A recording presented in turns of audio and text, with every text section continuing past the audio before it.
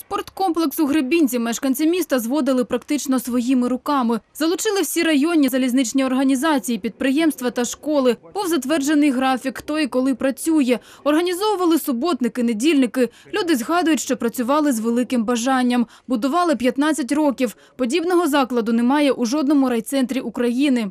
Практично 224 дні в році е, тут проходять змагання е, з гандболу, футзалу, футболу, хокею, легкої атлетики, тенісу великого і, і, і настільного.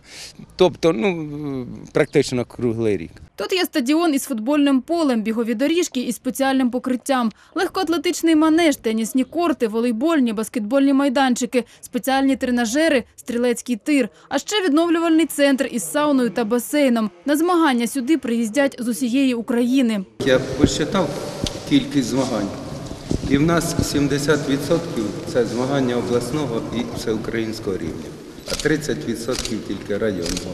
Ну а практично приходиться утримувати з міського районного бюджету. Важко було будувати, а ще важче тепер утримувати. Минулого року він забрав із місцевого бюджету більше 1 мільйона 700 тисяч гривень. Для району та міста Гребінка сума непідйомна. Заробити ж вдалося трохи менше третини. Вихід гребінчани вбачать лише у допомозі з боку держави. Тому під час робочого візиту голови Полтавської обласної ради до їх району найперше було прохання допомогти врятувати спорткомплекс. Олександр Біленький пообіцяв лобіювати інтереси закладу перед профільним міністерством. Якщо постане питання передачі це до комунальної е, власності Полтавської області, я з свого боку готовий допомагати, зробити тут, е, ініціювати проведення постійної комісії обласної ради з питань спорту